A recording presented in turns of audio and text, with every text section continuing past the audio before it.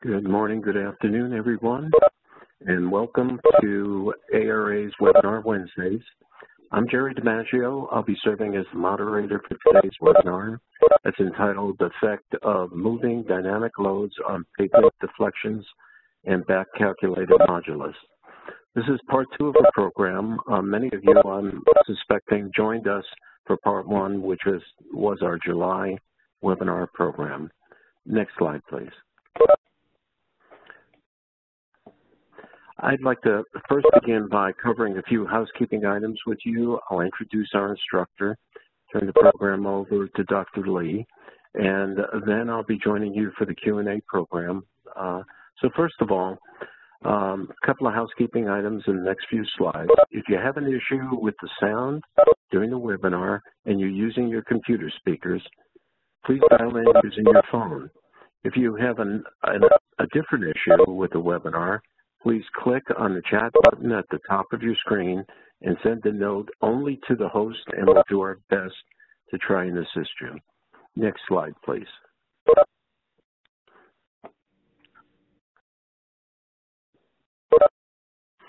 If you have any questions, please click on the Q&A button and send a question to both the host and the panelist and we'll address the questions, as I mentioned before, at the conclusion of the technical program directly after the presentation.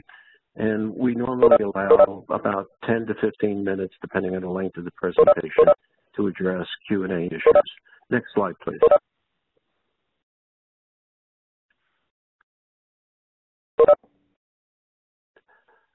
To view the presentation in full screen at the top of your webinar, click on the down arrow, highlight view, and then choose to fit the viewer. Next slide, please.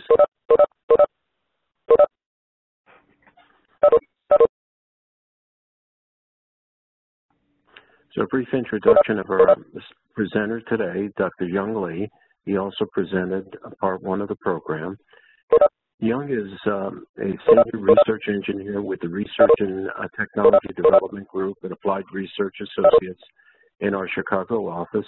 He holds a PhD in Pavement and Materials Engineering from Michigan State.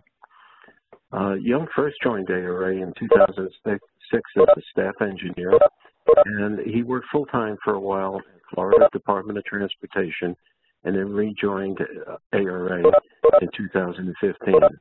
Dr. Lee has over 15 years of experience in the field of pavement evaluation, structural analysis, forensic investigations using NDT methods, uh, such as falling weight deflectometer, ground penetrating radar, and several others.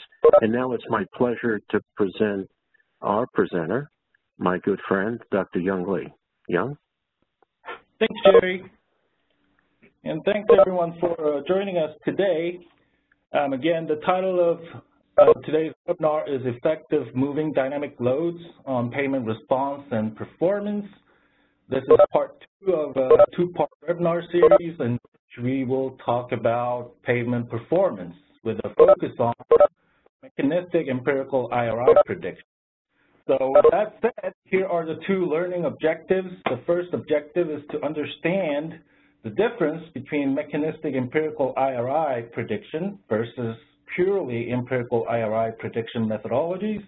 The second objective is to understand the advantages and disadvantages of the mechanistic empirical IRI prediction method for practical use in pavement design and analysis. So here's the outline of my presentation. I'll start with a brief introduction and talk very little bit about the finite layer method, the ViscoWave, which is what I used for um, for all simulations herein. And we'll talk about two different methodologies for simulating the pavement response, namely the fixed point analysis versus the moving frame analysis. And then I'll show you a couple of vehicle models for simulating the vehicle dynamic loads. And then finally, we'll get into the mechanistic empirical IRI prediction. Before I go forward, um, for those of you that have attended part one of the webinar, this outline may look quite similar. And yes, there's, there, there's some overlap uh, between part one and part two, and I do apologize for that. But we felt it was necessary to make this part two webinar independent of the part one webinar. So please be patient with me. So why are we concerned with pavement? Because in reality, there is no pavement out there that is perfectly flat. And in part one of the webinar, we looked at how some of the rough pavement profiles may generate some serious vehicle suspension movement as well as some um, dynamic loads. And we also uh, looked into the challenges associated with uh, the analysis and back calculation of the data collected from some of the traffic speed deflection devices. But apart from the analysis challenges, why do we want our pavements to be smoother? Uh, because from a user's point of view, smoother pavement means more comfortable ride, it's safer, and it uh, the vehicle operating cost uh, becomes less on smoother pavements. And from an agency's point of view, smoother pavements mean increased uh, pavement life, which also means less maintenance and reduced life cycle costs. And for these reasons, pavement smoothness is considered as one of the most important factors affecting both the structural and functional performance of pavement. So how do we quantify or how do we assess uh, smoothness? There's probably um, many um, uh, smoothness indices that are being used um, as of today, but the International Roughness Index, or shortly the IRI, is probably the one that is most frequently used across the globe. And the IRI is actually calculated from a mechanistic simulation of what we call the golden car.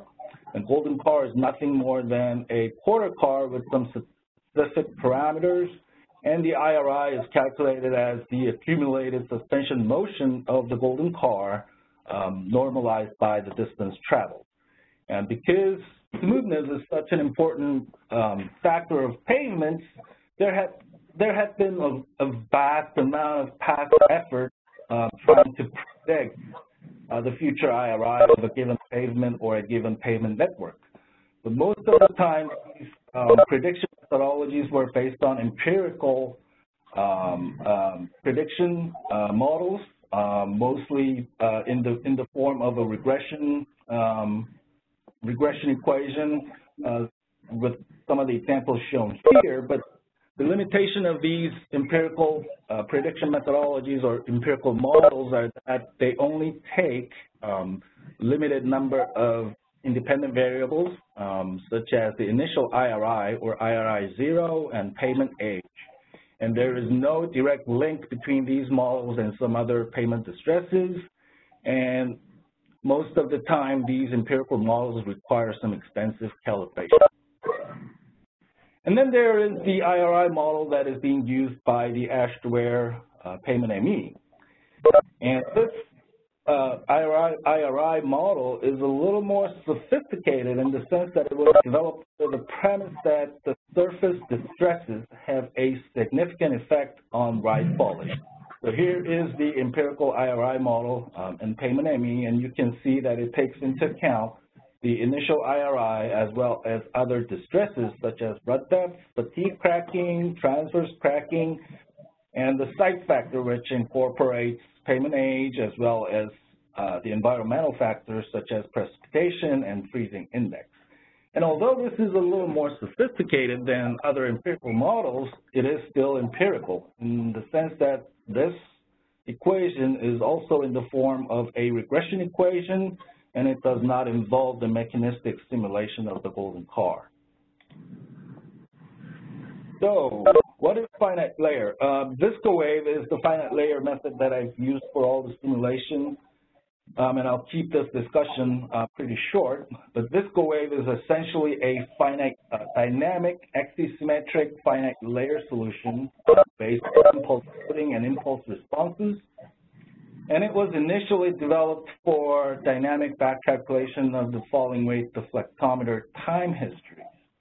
And, in a, uh, and a few years ago, this program was upgraded to simulate the pavement response under moving loads um, and incorporate both point analysis as well as the moving frame analysis. So let's take a look at the look at these two different um, simulation methodologies. So first, under the fixed point analysis, the load is moving, but the deflection or the pavement response is calculated at a fixed point in the pavement. So if we come to this diagram on the right-hand side, the load is moving from here to here, but regardless of the location of the load, the pavement response is simulated at this point that is fixed in the pavement. It's not too difficult to visualize it if you just visualize any of the pavement instrumentation um, in your head. It's, this is basically equivalent to what is measured by any of the instrumentation that is embedded in the pavement. And this is normally what we, we think and what we use when we talk about pavement response under moving loads. Now, on the other hand, in the, under the moving frame analysis, load is moving and the deflection is calculated at points that move with the load. So again, in this diagram here, the load is moving from left to right, and the pavement response is calculated at these points that travel with the load. And again, if you are familiar with any of any of the traffic traffic speed deflection devices, this analysis methodology is equivalent to what uh, what the T, what a TSDD is measuring um, uh, in terms of deflection, uh, because the deflection measuring sensors are mounted in the truck, um, not in the pavement, and those sensors travel with with the truck, with the load. But when it comes to the analysis itself, this uh, methodology has not been used as commonly, um, although the theoretical idea um, has been around for, for quite a while. So this is the, here is the pavement structure that I'll be using for, um, for all of the simulation. Um, it's basically a standard three-layer flexible pavement with 12 inches of asphalt concrete having a frequency-dependent or time-dependent dynamic modulus over a 12 inches of, of, of base material sitting on top of a fairly weak um, subgrade. And as for loading, unless um, stated otherwise, I will always be using a full axle having a total of 18 kip um, with, um, with dual tires. And the simulation and the vehicle speed for the simulation was fixed to 60 miles per hour. So let's take a look at um, uh, how, how the fixed point analysis and the moving frame analysis results may look like, starting with the fixed point analysis and consider the obvious case of a constant load, meaning there is no dynamic load. Um, so the so IRI is literally zero. There is no truck bounce whatsoever. So the load is moving uh, from left to right, and the load is basically a flat line because it is a constant load. And in the middle here at the location zero feet is where the fixed observation point is. And the pavement deflection at that point, of course, would increase as the load approaches that point and would decrease as the load moves away from the fixed observation point. Now, we consider the same constant load under the moving frame analysis. So again, the load is moving from left to right at a constant load.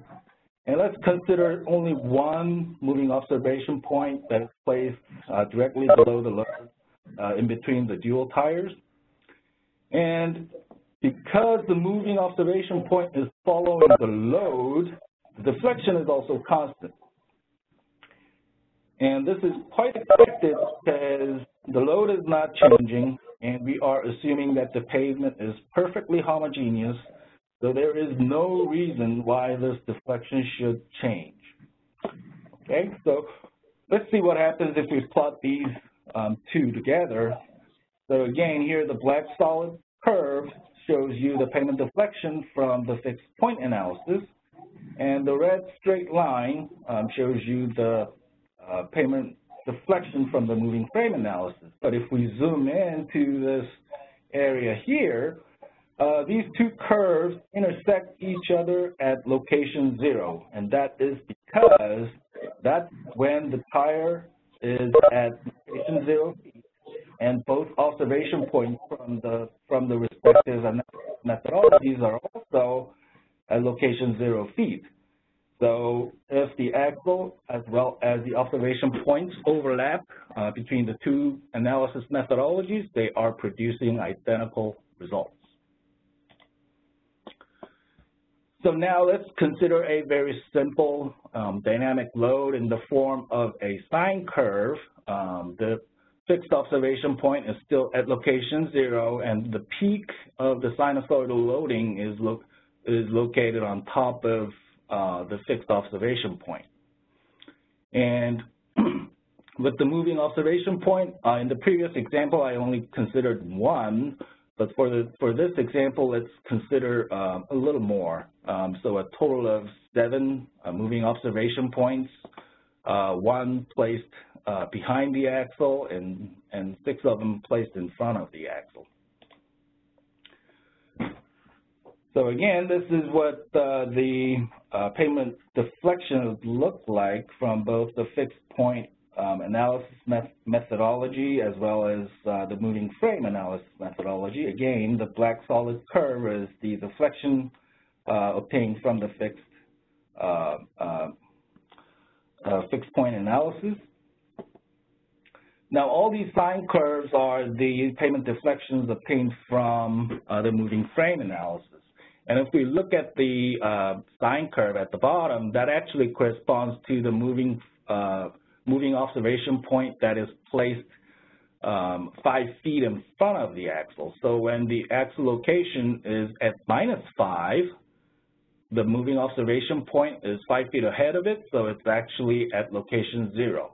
So again, the axle location and the moving observation points overlap between the two analysis methodologies, and we are getting identical results. And that statement holds true for all the other moving uh, observation points.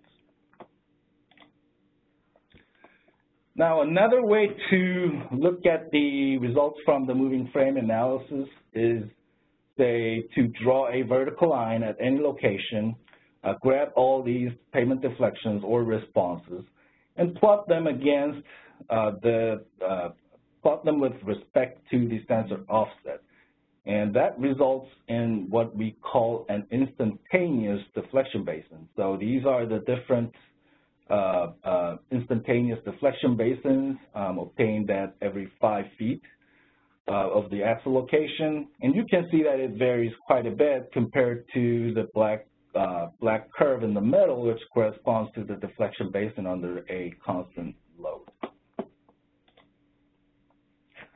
So let's take a talk a little bit about the, uh, some of the vehicle models. And uh, when I first started looking into um, uh, the vehicle dynamics modeling, uh, I, I, was kind of overwhelmed um, by the amount of models um, and the variety of models that are out there, um, starting from uh, the most simple model that you can imagine all the way up to some of the very, very complicated truck trailer models with um, linear and non-linear suspension characteristics, as well as some frictional and horizontal um, uh, uh, forces. But we're not trying to develop a very sophisticated uh, vehicle um, simulator or, or, or 3D video games, but we'll stick to some of the simple vehicle models. The first vehicle model um, that I'll show you is what is called a quarter truck model. It is the simplest uh, vehicle model uh, that I was able to find in the literature. And if you look at this diagram, the, the quarter truck model looks very, very similar to uh, uh the golden car model that is used for IRI calculation. And I was able to find two different quarter truck models, one proposed by Dr. David Cebon at University of Cambridge um, in, in the UK, and another quarter truck model by Dr. Todd uh, in the mechanic me Mechanical Engineering Department of Penn State University. And regardless of these two different models, when we normalize everything uh, with respect to the sprung mass, uh, both these quarter truck models have um, stiffer suspension and, and weaker tire compared to, to the Golden Car model. And what goes into the vehicle model is the pavement profile or the pavement surface elevation um, as a function of distance. And I'll be using two different pavement profiles, one having a very or, or a relatively smooth pavement profile. And this pavement profile was borrowed from the LTPP section 04-02621 Arizona. And it's smooth because the pavement profile was collected right after uh, the pavement was constructed in 1994. And the rough pavement profile comes from the same LTPP section but after 21 years of the pavement being being in service. So it became pretty rough after 21 years, as you can uh, visually see by some of these uh, downward spikes that represent um, the pavement deterioration. So let's see some demonstration using the rough pavement profile. Excuse me. So in this animation here, uh, is where the pavement profile is shown. This vertical line shows you where the quarter truck um, is located. Uh, these, this graph here shows you the uh, dynamic trace for both uh, uh, quarter truck models. This is how uh, Dr. Cebon's quarter truck model responds to the pavement profile. The one down here is how the how Dr. Todd's quarter truck model responds to the pavement profile and you can see the instantaneous deflection basin, basin uh, bouncing up and down as the, as the truck um, suspension um, is excited. Now the next vehicle model I'm going to show you is a three-dimensional truck, tra truck trailer model having 14 degrees of freedom. And when you're looking at this diagram, you may think this is, oh, way too complicated, but it's still a relatively simple uh, model uh, because it does not include any of the nonlinear or frictional suspension characteristics. So all in all, this model is nothing but a bunch of masses interconnected um, through a bunch of linear springs and linear dashpots. Now, in the previous example, uh, I only showed you uh, the results from seven moving observation points, but with uh, this truck, tra trailer model, I decided to go a little extreme. So I have placed about 1,200 moving observation points in each wheel path spaced at every 0.1 uh, foot. So a total of 2,402 moving observation points, um, and hopefully that'll give us the full picture of the pavement response under this uh, truck trailer system. And in the previous example, um, I only focused on pavement deflections, but the moving frame analysis can be extended to any pavement response, um, such as the uh, such as stresses and strains, so in the next animation, I'll show you not only the uh, vertical pavement deflection, but also the horizontal stress and strain that was calculated at the bottom of the asphalt concrete layer. so I, this is a pretty busy animation, but then again, here is the rough LTPP pavement profile. That dotted vertical line shows you where the steering axle um, axle is located. Here's a rear view of the trailer. Here's the left, left and right half of the truck. And the next row shows you the pavement deflection. So this is the deflection under the entire truck. And here are the deflections uh, zoomed in for, for each of these respective axles. And the next row shows you the horizontal, uh, the longitudinal uh, um, stress at the bottom of the asphalt concrete. And the last row shows you the strains. And you can see that it, it bounces up and down quite a bit as the truck is excited by this uh, rough pavement profile. Now, just so that I entertain you uh, for joining us um, um, for this webinar, I decided to go a little more extreme and I only took one half of the uh, trailer axle and assumed a single tire. And under that single tire, I had placed uh, the moving observation point uh, not only in the longitudinal direction, but also in the transverse direction, spaced at every 0.1 feet to an extent of plus minus 15 feet from the center of the load. And in part one of the webinar, I actually had uh, this written as plus minus 30. That is a mistake. Uh, so, uh, so I apologize for that. Just wanted to make sure I make that correction. But the bottom line is I, that I had placed a total of 90,600 moving observation points. Um, why am I doing this? Uh, because I wanted to visualize the pavement deflection in 3D. That's what I'm about to show you. So let's take a look at the um, uh, pavement deflection under uh, the constant load followed by uh, the dynamic load. So here is the 3D uh, visualization of the pavement deflection under constant load. And because the load is constant, um, it's, the deflection is not changing regardless of the uh, uh, axle location. And when I first made this animation, because nothing was changing, it looked like an animation. It just looked like an image. Um, and, and, and that's why I decided to at least move the camera around just to prove that this is an animation, not an image. Now, if we go to the dynamic load, um, here are two visualizations, 3D visualizations of the pavement deflection. They're showing the same thing except for that the one on the left shows you a tire uh, moving up and down to represent the dynamic load.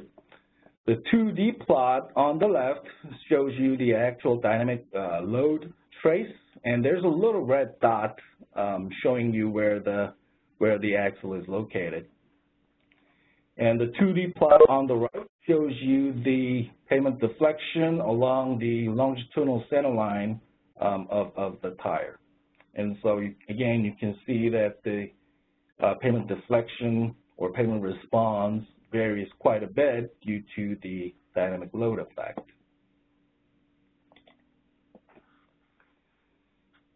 Okay, so let's talk about mechanistic empirical IRI prediction.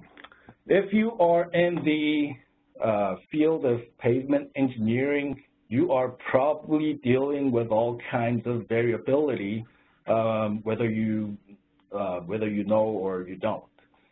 Um, and pavement profile, the surface elevation, uh, if you think about it, is nothing more than the variability caused in the pavement surface elevations. But then apart from the pavement profile, what else is variable? It's probably everything that is related to pavements, including the materials that make up the pavement, the construction, um, um, application. Uh, there's a huge variability coming from the environment and even the traffic load that uh, uh, that drives over over the pavement. But then what about pavement distress? Is there is there variability in the measured pavement distress? Probably yes. For example, um, if one of you tells me that you had a quarter inch rutting in your pavement, you probably meant that the rutting on average was quarter inch. It probably wasn't a quarter inch everywhere in the pavement. So we are uh, almost always focusing on uh, the mean values of the pavement uh, distress, and we often over, overlook the variability associated with uh, the, the pavement distress. So here's just a hypothetical um, example I'm going to show you just to prove a point. So let's consider a pavement profile that is perfectly flat except for this little bump here which um, has a peak height of 3 quarters of an inch over a length of 15 feet. And if we calculate the IRI over this 500 foot uh, pavement section, it's actually pretty smooth. Um, it's the IRI is only 31.1 inches per mile. Now, again, going back to our discussion, what is going to happen if this pavement uh, ruts a quarter inch everywhere without any variability? Well, and if that is the case, if it's running quarter inch everywhere, you start with uh, this pavement surface profile, and the rutted pavement surface profile would basically be the initial surface profile shifted down by a quarter inch because there is because we're assuming that there is no variability in in everything. Um, so even after a quarter inch uh, rutting in the pavement, we are still getting an IRI of 31.1 inches per mile. And you probably would agree with me when I when I say that this is not very realistic.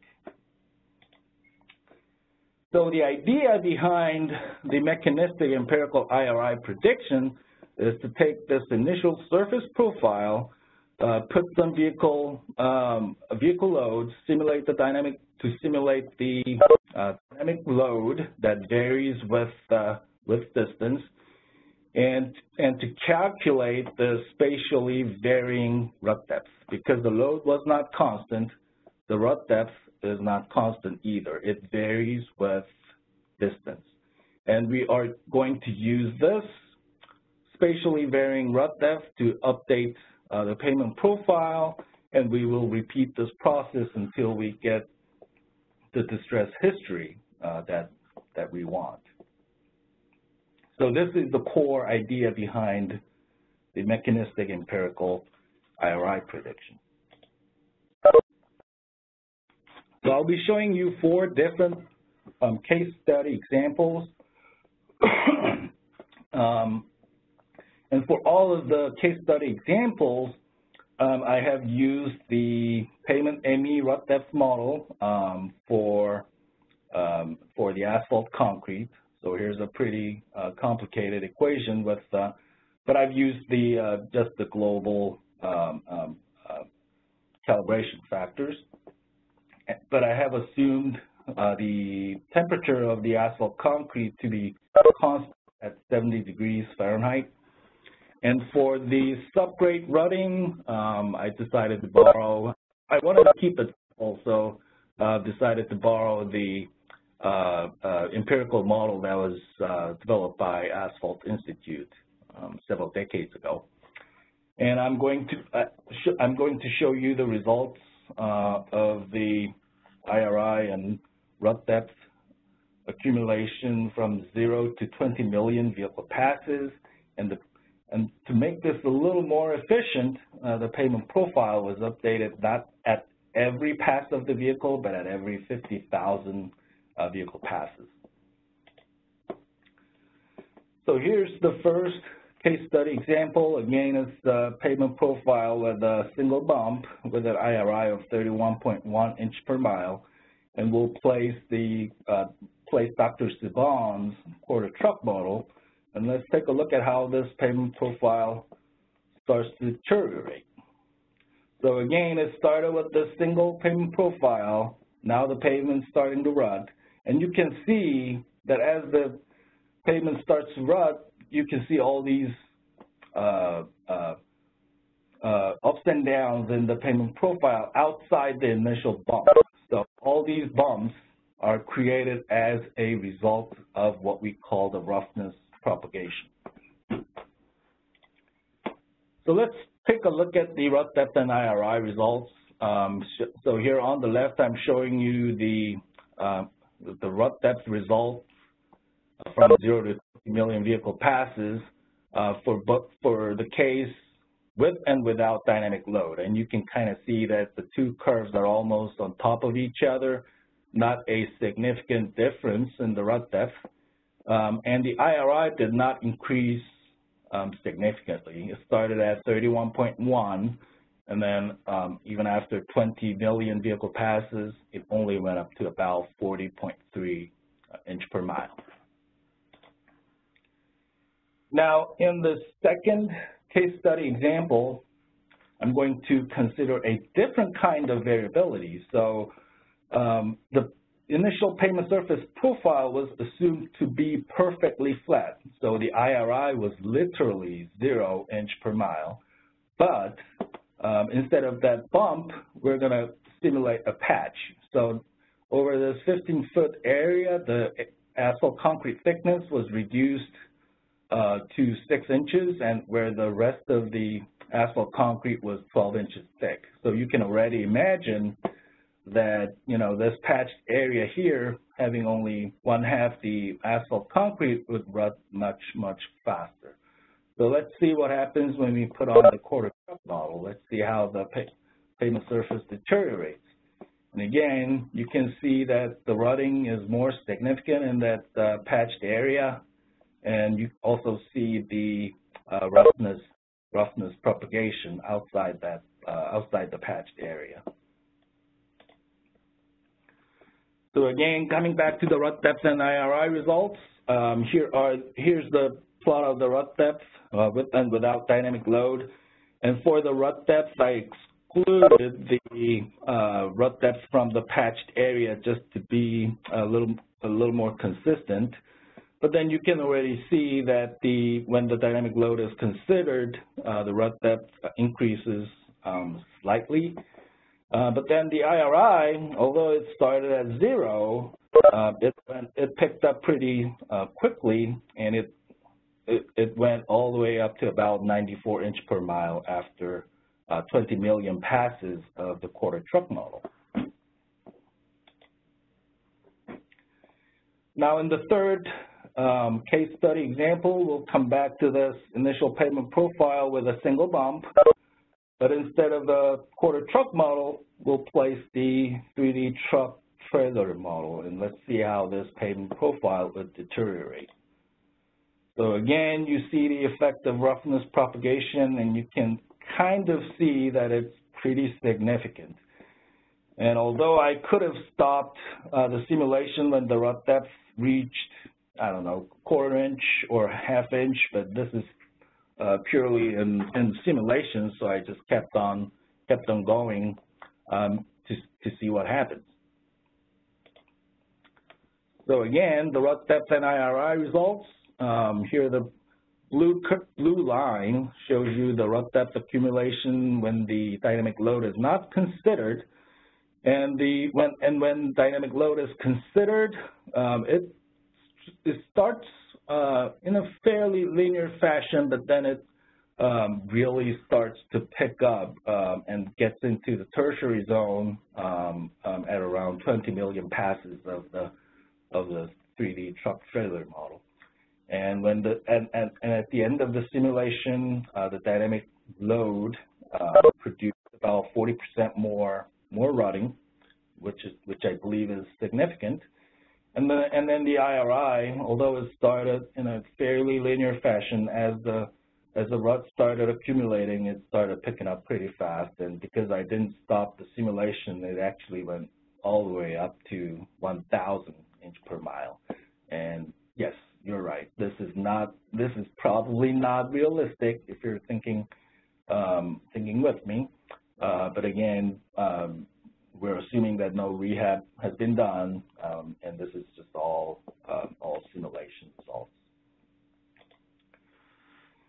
Now, in the last case study example, um, we will place this 3D truck trailer model on top of the smooth LTPP profile. And we'll also uh, look into um, uh, the spatially varying fatigue damage. And again, I didn't want to make this too complicated. I wanted to keep it simple, so I calculated the, the damage based on Miner's hypothesis uh, with the uh, big N, um, or the allowable number of uh, load passes obtained from the Pavement ME model, and the little n, of course, is the number of actual vehicle passes. And as the damage accumulates, um, I have assumed that the asphalt concrete modulus reduces in a linear fashion um, in accordance to uh, the model proposed by Dr. Per Ullidtz. So let's see how this LTPP pavement profile starts to to deteriorate. So here is the uh, pavement profile for the left wheel path and the right wheel path, and you can see uh, that that as rutting progresses, the surface becomes more and more rougher. And at the bottom, that basically shows you how how damage is accumulated um, over um, um, over the uh, duration of simulation. Coming back to rut depth and IRI results, um, the, when when dynamic load was considered, um, it actually predicted about 10% more uh, rutting after 20 million passes of the vehicle. Um, but then the IRI um, increased in a gradual manner, but not non-linearly. So this is a non-linear increase in IRI, started at around uh, 40, 50 inch per mile for the respective wheel pads and, and went up to about 250 inch per mile at the end of the simulation. What about fatigue? So here, here are the um, curves for the fatigue damage, the red line showing you the fatigue damage when dynamic load is considered. And for reference purposes, this blue line shows you, shows you the fatigue damage um, um, simulated without uh, the dynamic load. And you can see that the fatigue damage, even at the end of the simulation, was still less than 1.2%. Um, that's probably because we started with a very thick asphalt layer, asphalt, asphalt concrete layer, um, uh, which was 12 inches thick, and there's probably other uh, modeling limitations and assumptions that didn't uh, didn't increase the fatigue damage as much as um, um as I wanted. But nonetheless, if uh, this trend um, starts, if, if this trend continues to grow like this until the pavement fails under fatigue damage, you can already see that there's going to be a significant effect. Because even at this low fatigue, even with the low fatigue damage, the the fatigue damage predicted with the dynamic load is almost double uh, the fatigue damage predicted without um, the dynamic load. so let's see how the mechanistic empirical um, IRI compares to the empirical IRI uh, and the and the AASHTOWare IRI model. And again, this is the IRI empirical IRI model that is being used by AASHTOWare Pavement ME. Uh, but then in the previous slide, we discussed that the damage was negligible, so the effect of fatigue cracking is almost zero. And we assumed a constant temperature of 70 degrees Fahrenheit, so there is no thermal cracking. And because it was all simulated, um, there is no precipitation, and there is, and the freezing index is literally zero, so the effect of uh, the site factor is also quite negligible. So if you eliminate all of these three variables, the AASHTOWare IRI model um, um, essentially becomes a linear function of the average rut depth.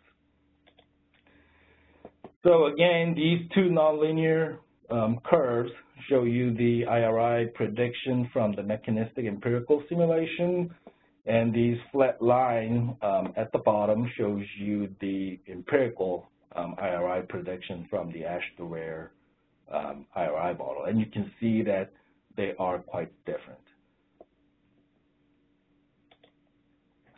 So to summarize, the empirical IRI prediction models, they do not involve the mechanistic golden car simulation, and they are mostly based on, on regression type uh, of models with a limited number of inputs. But then they are simple, they're easy, um, they're easy to use, and they're definitely efficient. But then if you want to um, have a very reliable, reliable um, empirical IRI model for the entire pavement network, you may need to develop the IRI models for different uh, pavement thickness ranges, different foundations, different regions, um, and different climate zones, and, and, and et cetera. And of course, because of the nature of the empirical IRI prediction models, um, even after the model is developed, it, you may have to go through some extensive calibration for them to be reliable. Now, on the other hand, the mechanistic empirical IRI prediction requires the mechanistic simulation of the golden car. That's why it is mechanistic empirical IRI prediction. And uh, it uses a spatially varying route depth uh, for updating the pavement profile. Um, and it may provide a better means for incorporating the some of the other structural characteristics, such as the modulus of different layers and the thickness of the different layers um, in prediction. But then the drawback of the mechanistic uh, empirical IRI prediction is that it's not that simple. Um, it's not that easy to use compared to the empirical models, and it is definitely not efficient. Um,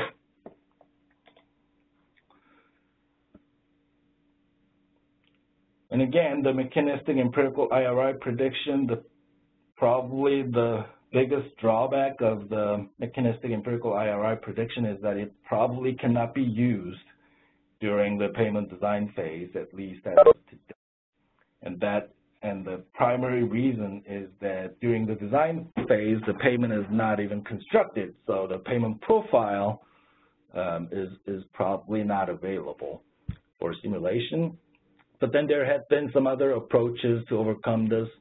Uh, for example, Dr. Per Ullidtz had looked into something like this in the in the 1980s, and he said he actually said that um, a stochastic or a probabilistic approach um, uh, may need to be uh, uh, brought in if this type of methodology is to be used in the during the pavement design phase. And of course, the um, uh, of course the efficiency of the simulation will become become a challenge. But then there's probably some other um, uses, some other uses where the mechanistic empirical IRI prediction can be be used. For example, uh, it cannot be used during the design phase, but when the pavement is constructed, maybe it, can, it could become a tool for verifying uh, your design assumptions.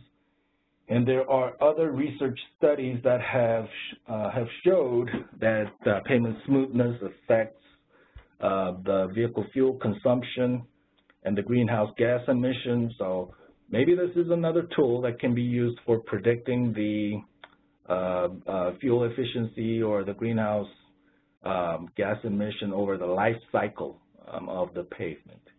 But then uh, there's probably a lot of future uh, research that need to be done before this thing becomes um, becomes a standard for everyday use. For example, uh, there is a golden car for calculating the IRI, but there, then there is no golden truck for simulating the dynamic load. And then um, in, in, in, this presentation, I've used the spatially varying rut depth for updating the pavement profile and, and the IRI accumulation, but then there are other distresses um, that affect the, the ride quality, such as cracking and raveling on the, on the pavement profile.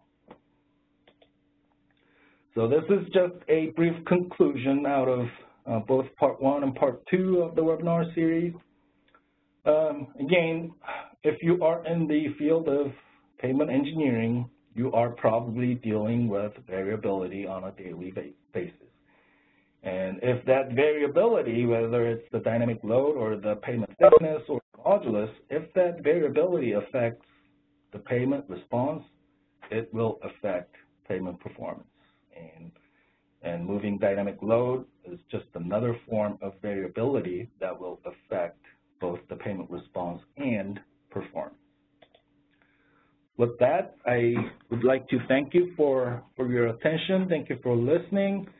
And I will turn it back to Jerry.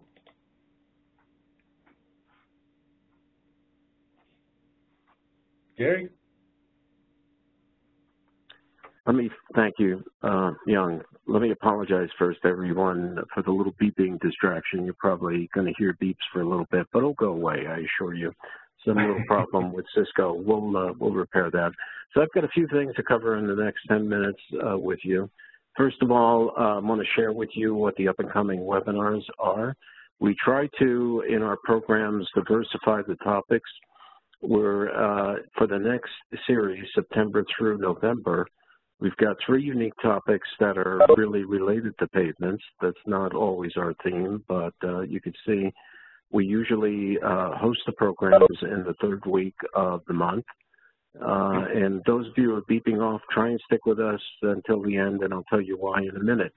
If you're interested in registering for any of these programs, uh, please look at the website, ARA.com, products and webinars, and you get enough direction to give the guidance that you have. Next slide, please. Well, we've got a number of questions, uh, and we'll we'll talk about several of these as we go along. Um, like to remind everybody that questions are welcome. We're running a little long today, so we may not get to all the questions that have been asked. But all of these programs are recorded, and Dr. Lee has been gracious, like most of our presenters. And will entertain questions via email that you see on slide 64 right here uh, if we don't get to your particular question during the program. And uh, let's talk a little bit about the questions that we have thus far. So a uh, question from uh, Yvonne. Uh, I might have missed the introductory part of the program, so I apologize if it's already been covered. But what's the difference between the AASHTOWare and the ME model? Pavement practitioners use these terms interchangeably.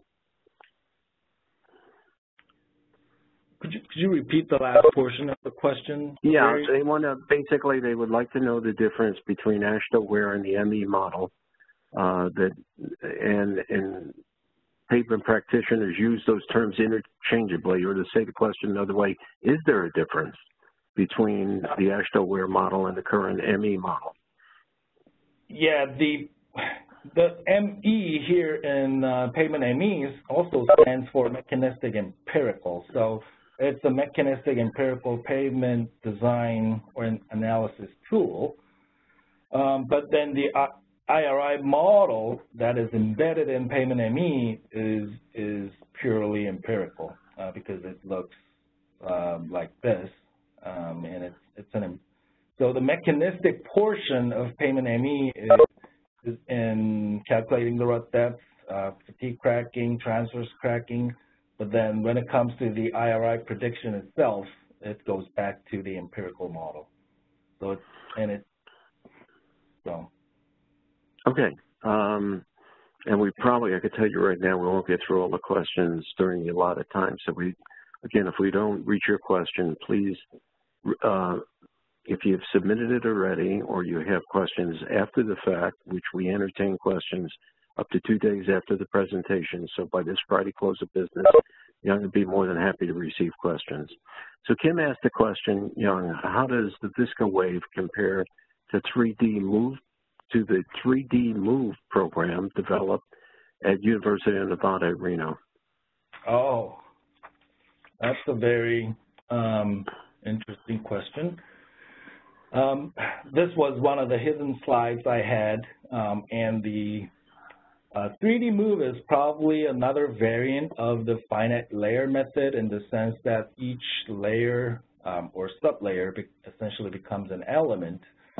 And now both ViscoWave and 3D, 3D Move can simulate uh, moving uh, dynamic loads, but the core difference is that ViscoWave was developed um, in the time domain, and 3D Move was developed in the frequency domain. And what that means is that ViscoWave um, can handle both uh, FWD and moving loads, whereas 3D Move can only handle uh, moving loads. Um, and I, unless I'm mistaken, in the 3D Move program, there's a, a static mode of simulating the FWD, uh, but then um, it's not dynamic uh, and viscoelastic anymore. But then uh, the advantage of 3D Move when it comes to moving load simulation is that it probably is much faster than ViscoWave.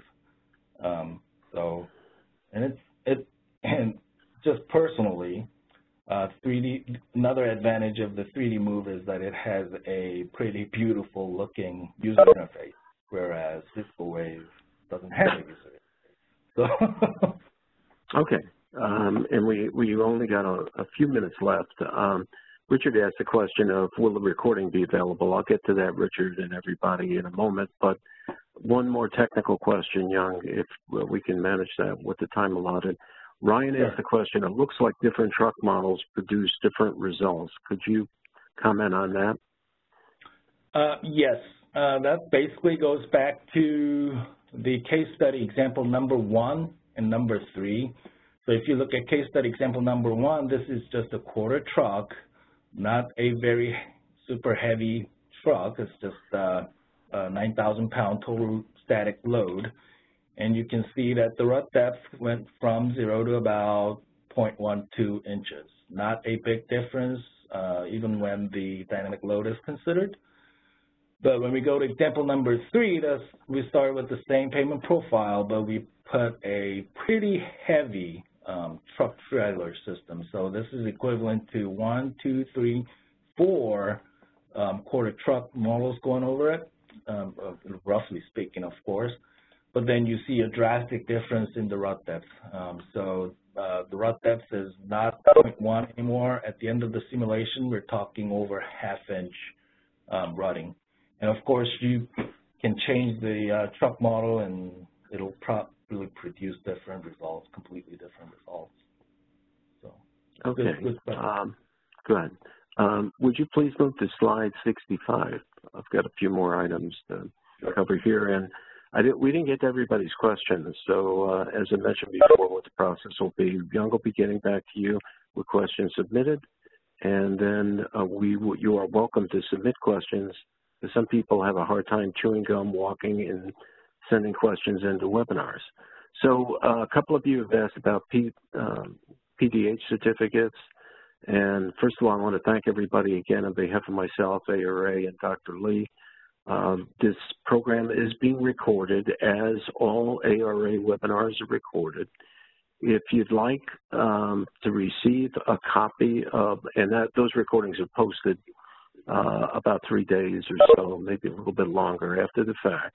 If you'd like a PDH certificate uh, or a copy of the presentation, and that's a P PDF version of today's presentation, go to ARA webinars at ARA.com.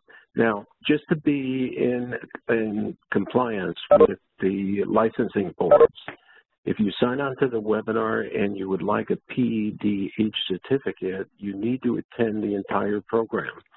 So uh, people have a lot of follow-up calls. If you sign off and we kind of know when you've logged on and when you log off, just to make sure we're in compliance with the regulatory boards, we will not be able to grant you a certificate unless you are on the entire program.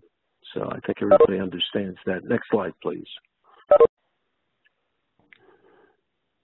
Okay, we're almost there, gang, and we're almost out of time. So we're always looking for great people. ARA has approximately 50 offices. I happen to work in one of our satellite offices in Delaware, and we're about 1,500 uh, employees, so we're a national company. If you're interested in employment opportunities with us, uh, please send uh, your brief resume and your contact information to the website that you see listed here on this particular slide. So thank you again. And thank you, Young, for part one and part two. You did an excellent job. Everybody stay safe, and God bless you all. Have a great day. Thank you, Jerry.